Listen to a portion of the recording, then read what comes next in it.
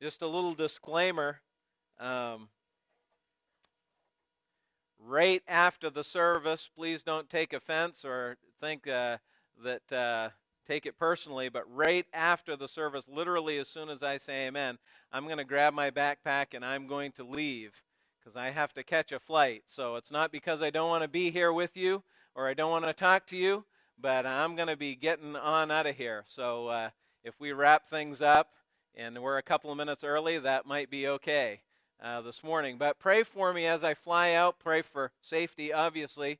Um, but I'm going out for our uh, board meetings for our fellowship, the Association of Churches that we're with, Fellowship of Evangelical Churches, and we meet quarterly um, to discuss the things that are going on in the association and decisions that need to be made.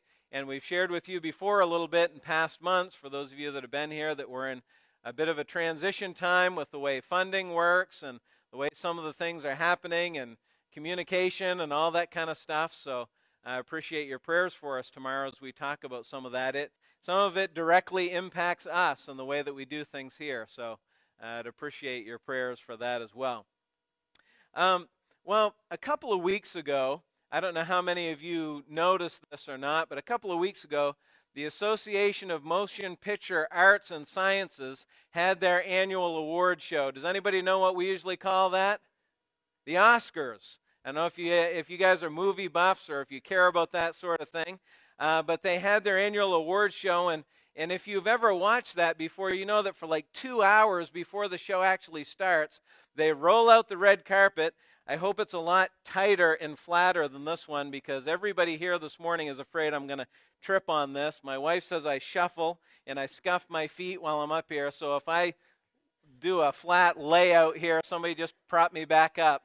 Uh, but they have a red carpet, and all the celebrities walk the red carpet, and, and the ladies have, you know, fancy thousands and thousands of dollar dresses on, and the guys have tuxedos of different kinds, and, and everybody interviews them. Oh, who made your dress? Who did this? And your hair and your makeup and the jewelry and all of that and all the preparation. They talk about all the preparations that have been made, sometimes for weeks before they walk that red carpet.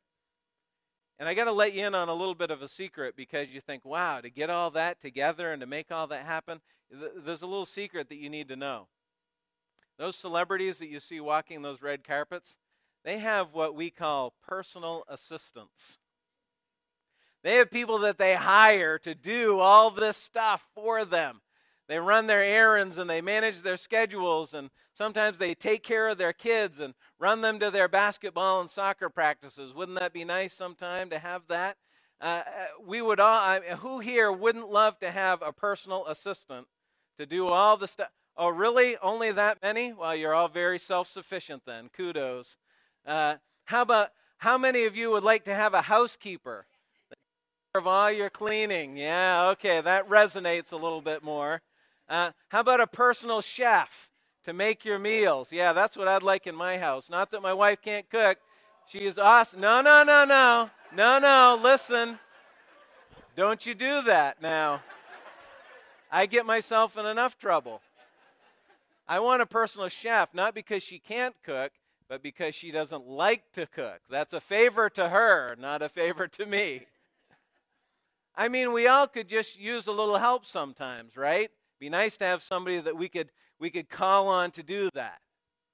And when we think about that in our lives and we, we kind of relate that to our spiritual lives, uh, I think sometimes we kind of get a bit of the wrong impression. This morning we're going to be talking about the Holy Spirit. We've been working our way through some of these basic truths of what it means to be a Christ follower. And actually, I meant to get these out earlier and I forgot, but uh, I have some copies of this, and what I'm going to do is I'm just going to put half of them over here and half of them over here. And if you guys just want to take a copy and, and work your way back on through, just pass them all the way back as we're talking here. Um, you can see that. But we've worked our way through these truths, and I, I, think part of the problem is when we talk about the Holy Spirit, and some of you may be here this morning and say, Holy Spirit, I have absolutely no idea what you're talking about. Well, we're going to help you with that this morning. But for those of you that do, sometimes we have a tendency to look at the Holy Spirit and we think of him as our assistant. The Holy Spirit is the one who, who the Bible says lives inside us, and he, and he helps us with things that we're lacking. If, if we're lacking strength or we're lacking wisdom or we need some comfort, the Holy Spirit is the one who, who adds that or who, who gives us that. But I want you to understand this morning that the Holy Spirit is so much more than that. He's so much more than our assistant. I want you to look as you get those and you you uh, have these sheets to look at. Just stick that in your Bible or in your pocket or something. If you're uh, coming to church regularly over the next few weeks, then you can uh, just kind of follow along with what we what we're doing. And I put some of the verses on that we've been talking about so that you can look at it a little bit more later as those make their way back through there. But we've talked about the fact that the Bible is the source of my understanding of God. A lot of us have our own idea of who we think God is. But if we're going to be a Christ follower, we need to go to the Bible. That needs to be our source. We can't make this stuff up. We can't just do what we think is right. We need to look at the Bible to understand who God is. It's the standard for living my life. And when we read the Bible, we find out that God alone is holy and righteous, that He wants a relationship with me. In the last couple of weeks, Pastor Tim has been talking to us. He's talked about the fact that Jesus, who is God the Son, became the perfect man. And then last time we talked about the fact that Jesus Christ is the only way that we can be saved. Now we're going to add one to that this morning, uh, and it's this that the Holy Spirit, or God the Holy Spirit, walks with me through life. The Holy Spirit is not my assistant. The Holy Spirit is not my servant to do my bidding. The Holy Spirit is not a warm, fuzzy feeling when I'm lonely. The Holy Spirit is God and as God, He walks with me through life. Now, this is not just my opinion. Building on what we've been talking about the last few weeks, it is not up to me to determine who the Holy Spirit is. It's not up to me to stand here and tell you this is what you need to believe about who the Holy Spirit is. We need to go to the source. The Bible is the source of my understanding of God. And so that's where we're going to look this morning and take a few minutes to talk about what the Bible says about the Holy Spirit. So we're going to look at John chapter 16. So if you have your Bible, or John chapter 14, rather, if you have your Bible, turn with me to John chapter 14. And I'm going to read a couple of verses for you. They're going to tell us a lot about the Holy Spirit. John chapter 14, verse 16. We're jumping into a conversation that Jesus is having with his disciples. And he says this I will ask the Father, and he will give you another advocate who will never leave you. He is the Holy Spirit who leads into all truth. The world cannot receive him because it isn't looking for him and doesn't recognize him. But you know him because he lives with you now and later will be in you. Now, Jesus is preparing here for his death. The disciples really don't get all of it, they don't understand everything that's happening at this point. But Jesus, of course, knows what's going to happen. And he knows that soon he's going to go to the cross and he's going to die. And he doesn't want the disciples to be alone. That's what they're worried about. Well, if you leave, what are we going to do? He says, I want you to understand, guys, that if I leave or when I leave, I am going to give you, he says in this verse, another advocate. I'm going to leave someone with you who is going to help you and guide you and teach you just like I've been doing. The word advocate there means helper or encourager, it means counselor. The Holy Spirit's task, we read in this verse, is to lead us into all truth. It is very important for us, especially those of us that are here this morning that are Christ followers, who are have a desire to do what is right and to do what God is asking us to do, it's very important that we understand the truth. How many people think it would be a good idea to Google what is truth and try to live by that? There are billions, literally, of ideas and theories on truth floating around in this world. We need a standard. We need, we need something that we can count on. I need to know what I should be doing and how I should be responding in this world as a man, as a husband, as a father, as an employee, as a friend, as a neighbor. I need to know the difference between right and wrong. There has to be a standard, and the Holy Spirit helps me with that and helps us with that. Christ was doing that with the disciples, and he says, I am going to give you another advocate, another person. Now, there's a couple of key things that we need to grab onto, a couple of key pieces of information that Jesus gives us in these two verses, and we must get this. If this is all you remember from today, you need to remember these things about what Jesus teaches us of the Holy Spirit. First of all, I would draw your attention to two phrases. The first one, the Holy Spirit is another advocate. Now, I told you what the word advocate means. It means counselor, it means helper, it means encourager. That's what Jesus was doing with the disciples, and that's what the Holy Spirit was going to do according to what he was telling them. What I want you to notice is the word another. That's the important word in this passage. Another advocate. Now, we speak in this country, well, not everybody, but a lot of us in this country speak English. English is not a very specific language. And in our English language, we have one word for another. Right? Anybody know what it is? Yeah, very good, Sue. I'm glad somebody's listening. it's another. We use that same word whether we're talking about something very different or something similar. Let me give you an example. Um, once in a while, once in a very great while, I use one of these. It's a golf ball. I go up on Paris Hill there to the to the golf course and, and I play golf. I really enjoy it very much. The only problem is I'm not a very good golfer. I don't know if you've ever been up to the golf course up there on Paris Hill. Charlie's been up there a few hundred times. And he's been there with me a few times too, so he can validate everything that I'm about to say. Here's what I do I get up to the first tee, and I, I put the tee in the ground, and I put the ball on it, and I get my driver out. And Paris Hill is a beautiful little golf course, and on the first hole, down the right hand side, there is a rock wall, and then there's a line of trees, and then there's a whole bunch of really nice houses just on the other side of the trees. And generally, my practice is to put that ball on that tee, to line up with my driver, and to come back and to fall. I mean, my, I have a beautiful swing. I really do. The problem is what happens after the swing.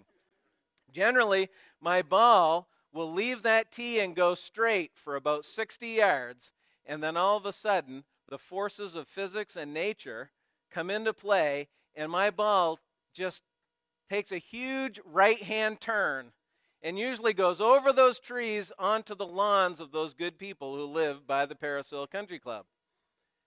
And then what I have to do is I have to reach into my bag and I have to get another golf ball. See these two golf balls? They're exactly the same. I have to get another one, another one of the same kind and the same quality. Now, I'll make a really long story and a really long round of golf a lot shorter to say this usually repeats itself several times over the course of nine holes. And every time I have to reach in and get another golf ball, another one of the same kind. And then usually what happens, I get really frustrated and I say, Why am I playing golf? I'm not very good at this. And so I reach in and I get another ball. This ball, I know what to do with this one. I'm good with this one. I can throw, I can catch, I can pitch, I can hit. Now, do you see the difference here? In English, we use the same word. I reached into my golf bag and got another golf ball, or I reached in and I got another, a very different kind of ball for a completely different purpose. Now, in Greek, there are two words allos and heteros. Allos means another of the same kind and the same quality. Heteros means a different kind. And when Jesus is talking to the disciples and says, I will send you another advocate, guess which word he uses? Allos. Another of the same kind and the same quality. What is Jesus saying to the disciples? And what is Jesus saying to us? He is saying that when he died and rose again and ascended into heaven, and God the Father sent another advocate, another comforter, another counselor, another helper. He sent us another of the same kind and the same quality. In other words, the Holy Spirit Himself is God. It's not like Jesus left, the Holy Spirit came, and now we're not as well off as we were before because Jesus is gone. The point is this as Christ followers, we have the Holy Spirit who is the same. He is of the same kind, if you will, of the same quality, if I might say that, even though it's weird to say that of God, as Jesus Christ. He is God. Well, why in the world does that matter that the Holy Spirit is God? Well, it matters because of this. We have God Himself, God the Holy Spirit, who is our counselor, who is our helper, who is our encourager. It lives in our hearts. Because He is God, then we have access to everything that God is and all of the power that God has. It's not like we have the Holy Spirit and, and He sort of knows what's going on, but what He really needs to do is talk to God and figure out what needs to be done or ask God to do it. He is God.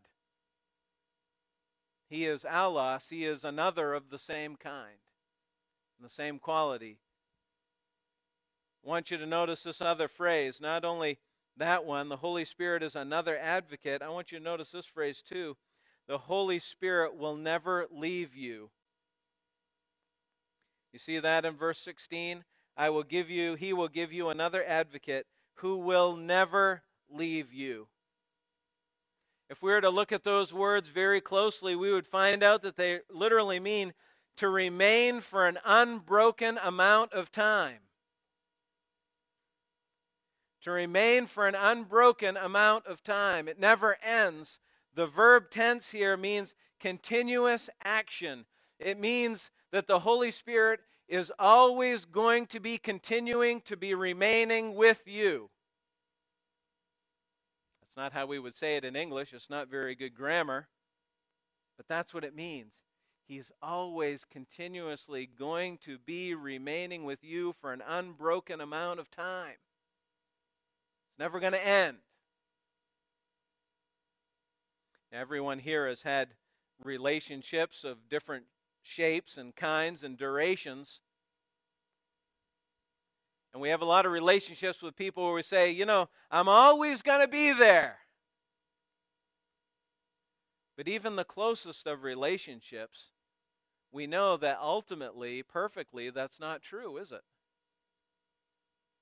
No one is ever there all the time. Even, uh, even as uh, married couples in committed relationships, we're not always there all the time. It's not physically possible. But when Jesus describes the ministry of the Holy Spirit, he says he will always be continuously with you all of the time. When you trust Jesus Christ as your Savior, the Holy Spirit comes into your heart and He never leaves. ever. Unfortunately, sometimes our misunderstanding of the Holy Spirit parallels our misunderstanding of God in general. He's not just there simply to do our bidding, He is God to be obeyed. He's not an add on to help us do things for God.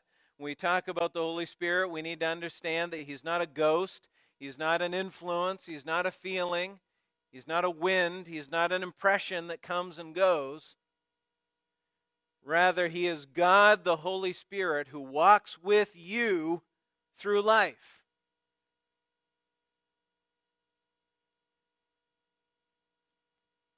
So, why does this matter?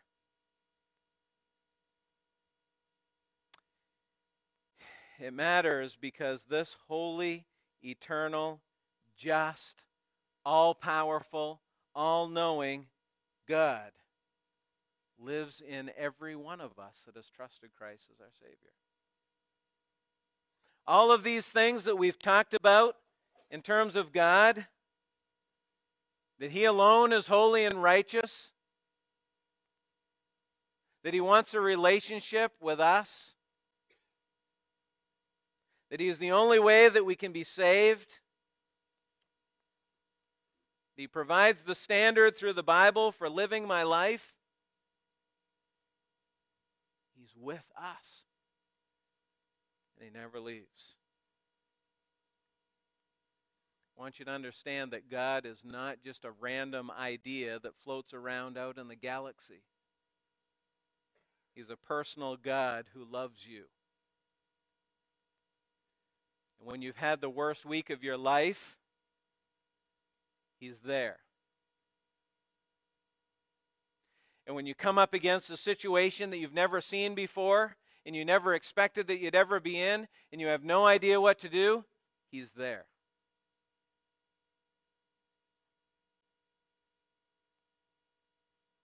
And this is a promise to every one of us who's a believer in Christ. Now, you could sit here this morning, and I, I fully understand and accept the fact that there could be a wide range of responses to this. You may be sitting there saying, That's the strangest thing I've ever heard. Never heard anything like that. I don't think that's true. Well, my task is to share with you what the Bible says. Your task is to decide whether or not to accept it. You see, if we are going to be Christ followers, we have to believe with all of our hearts that the Bible is the source of our understanding of God. And we have to take it at its word. We can't allow our personal thoughts or feelings or those of anyone else to impact what we believe about God. We have to go by what the Bible says. We have to decide whether or not we're going to accept it. We have a, a book that we do sometimes with people who are seeking and, and want to know more about God. And one of the things the guy talks about in the very first chapter, and I like it so much, is look, you owe it to yourself to think about what the Bible says about these topics, about life, about death, about eternity, and then you make up your mind. You choose whether or not you accept it. That's your right. But the Bible clearly tells us that God the Holy Spirit walks with us through life. God loves you. Jesus Christ, the Son of God, died for you. And God the Holy Spirit wants to live in you and walk with you through your life so that you don't have to do it alone. That's His desire. And more than that, that's His promise to all those who trust Him.